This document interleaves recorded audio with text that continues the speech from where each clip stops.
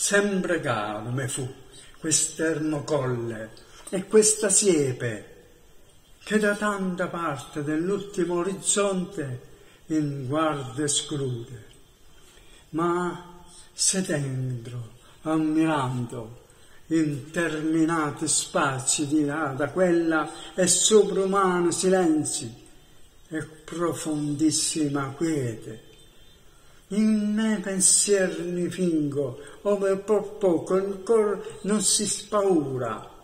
E come il vento lodo stornito tra queste piante, quello che infinito silenzio a questa voce dopo io comparando.